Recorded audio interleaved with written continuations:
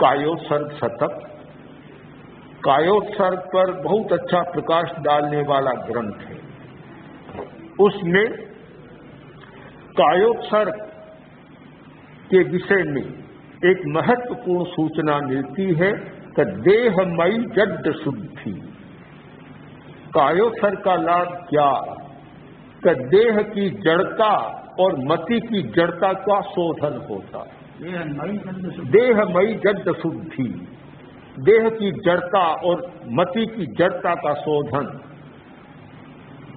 शरीर में जो विकार पैदा होते, कायोत्सर्ग से उन विकारों का शोधन होता है। प्राचीन व्याख्याकारों ने तो इतना बतलाया कि शरीर में श्लेष्म आदि की कुछ समस्या होती है, कायोत्सर्ग में श्लेष्म आदि की बीमारी शांत होती जो भी कफ की बीमारियाँ कायोत्सर्ग में शांत होती है। पर आज विज्ञान के संदर्भ में हम देह जड़ता की शुद्धि की व्याख्या को करें तो और बहुत सारी नई बातें हमारी जानकारी में आ जाती है कि कायोत्सर के द्वारा रक्त विकार का दोष शांत होता है। रक्त बीमार, विकार की जो बीमारी है, कायोत्सर्ग में वह शांत हो जाए। दूसरी बात, रक्तचाप की बीमारी के लिए तो एक अमृत संजीवनी बूटी का काम कायोत्सर्ग करता है। जिनको रक्तचाप है, उन्हें शिविर काल में प्रयोग कराया गया। आधा घंटा के कायोत्सर्ग में जिनका 170 था 140 तक आ गया 50 तक आ गया। जो काम एक सौ पचास, एक सौ सत्तर से एक सौ पचास तक आ गया। यानी आधा घंटा में तीस चालीस मील का अंतर आ जाता। और दीर्घ काल तक करे बहुत अंतर आ सकता है। प्राचीन काल की एक पद्धति रही है कायोत्सर करने की, कि कोई ऐसी बीमारी है, मानसिक बीमारी है, या कोई मनोकायिक बीमारी है तो एक प्रयोग बतलाया गया है व्यवहार भाष्य में व्याख्या ग्रंथों में कि पहले दिन कायोत्सर, एक दिन पूरा कायोत्सर, आधा घंटा घंटा का नहीं, एक दिन का कायोत्सर, यानी पूरे दिन भर का कायोत्सव दिन रात का कायोत्सव हाँ। हाँ कहते उदयपुर में गुरुदेव ने कहा, पुरोहित, प्रोफेसर पुरोहित यहाँ आए और प्रेक्षा ध्यान का अभ्यास कर गए थे। रात को अचानक हार्ट का अटैक हो गया। उन्होंने न किसी को बताया, न कुछ किया। कायोसर की मुद्रा में लेट गए। और रात भर कायोसर में रहे। हाँ। और सुबह डॉक्टर को बुलाया। उन्होंने देखा, आपको तो काफ़ी शिविर हुआ था ये। बड़ा तेज हार्ट अटैक था। आपने कोई दवा नहीं ली, सूचना नहीं दी। उन्होंने कहा, मैंने तो कायोत्सर का प्रयोग किया है और काफ़ी बस ठीक कार्य हो गए। तो कायोत्सर्ग लंबा, एक दिन पूरा कायोत्सर्ग दूसरे दिन निर्विकृति कम, विगय का वर्ग। फिर तीसरे दिन कायोत्सर्ग और चौथे दिन फिर निर्विकृति, विगय का वर्जन। यह क्रम बराबर चले नौ दिन तक यह क्रम चले। नौ दिन तक। लगभग बीमारी शांत हो जाएगी और उस स्थिति में भी अगर थोड़ा कोई अंश बचता है तो फिर आगे दूसरी योग की प्रक्रिया। हाँ सब बंद। हाँ जैसे आज हार्ट अटैक होता है उनको सब बंद कर देते हैं ना ये चिकनाई रोड बसा सारी।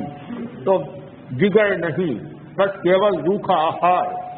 रूखा आहार भी इन बीमारियों को मिटाता है और कायोसर का फिर योग मिल जाता है।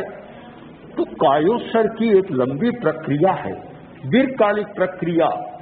एक दिन का कायोत्सर्ग दो दिन का कायोत्सर्ग बारह दिन का कायोत्सर्ग दीर्घकालिक कायोत्सर्ग तो रक्तचाप हृदय रोग के लिए बड़ा कल्याणकारी है। और मस्तिष्क के लिए बहुत उपयोगी, यानी हृदय, मस्तिष्क और मेरुदंड, इन तीनों को आराम देना कायोत्सर्ग का मुख्य प्रयोग है। और ये तीन स्वस्थ हैं तो सब कुछ ठीक है। जिसका मस्तिष्क ठीक है, हृदय ठीक है और मेरुदंड ठीक काम कर रहा है तो उसके लिए स्वास्थ्य की काफ़ी सुविधा हो जाती है। आराम देने वाला बहुत ज़्यादा विश्राम देता है। और मानसिक तनाव और मानसिक रोग, इनके लिए कायोत्सर्ग जैसा कोई महत्वपूर्ण उपाय या चिकित्सा की पद्धति नहीं है। एक मनस चिकित्सक के सामने रोगी जाता है तो मनस चिकित्सक सबसे पहले उसे सुझाव देता है तुम बिल्कुल ढीले होकर सो जाओ। शिथिल होकर सो जाओ।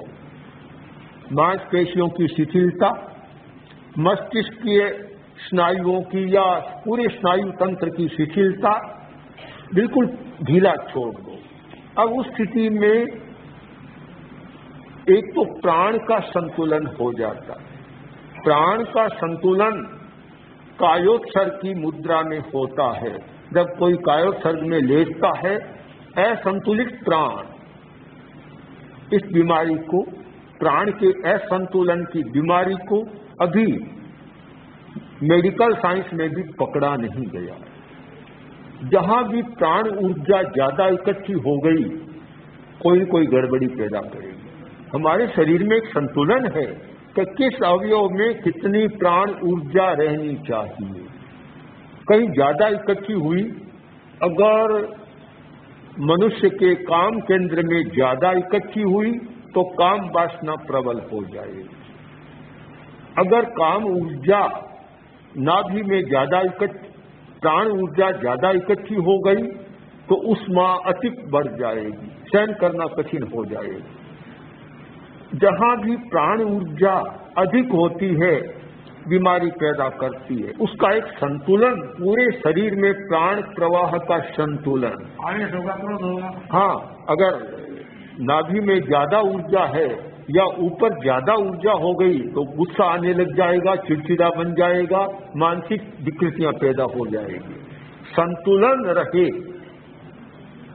तो वह संतुलन के लिए कायोत्सर्ग एक सुंदर उपाय है कि कायोत्सर्ग में जहाँ शिथिलता होती है तो जहाँ भी प्राण ऊर्जा ज़्यादा है, असंतुलित है, अपने आप उसका प्रवाह ठीक हो जाएगा और पूरे शरीर में संतुलन बन जाएगा।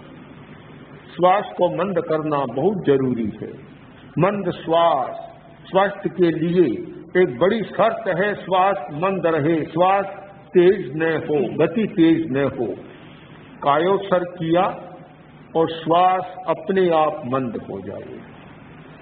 कायोत्सर्ग करने से पहले श्वास की संख्या कर लो और कायोत्सर्ग 10 मिनट कायोत्सर्ग करने के बाद श्वास की संख्या करो, संख्या कम हो जाएगी, श्वास की गति मंद हो जाएगी अपने आप। प्राण का संतुलन, श्वास को मंद करना, ये सब कायोत्सर्ग की अवस्था में सहज प्राप्त होते हैं। अनिद्रा का रोग नींद नहीं आती। बहुत समस्या रहती है। आज भी एक भाई ने कहा मुझे कई वर्षों से छह महीनों से ये स्थिति बन गई। दो तीन बजे से पहले नींद नहीं आती। तो दो तीन बजे के बाद तो उठने का समय होता है तो उसको पहले नींद नहीं आती है। हाँ सोने का समय होता है तीन बजे के बाद तो अनिद्रा की बड़ी समस्या है। कायोत्सर्ग सबसे बड़ी नींद की गोली। नींद की जितनी गोलियाँ, उनमें सबसे बड़ी गोली है कायोत्सर्ग जिन व्यक्तियों ने ठीक से कायोत्सर्ग साधा, अनिद्रा की समस्या, ये बीमारी उन्हें सताएगी। थकान थकान भी बड़ी समस्या है। यानी बहुत सारी बीमारियाँ थकान के कारण पैदा होती है। मस्तिष्क की थकान, बहुत मानसिक श्रम किया, मस्तिष्क थक गया, बहुत ज़्यादा शारीरिक श्रम किया,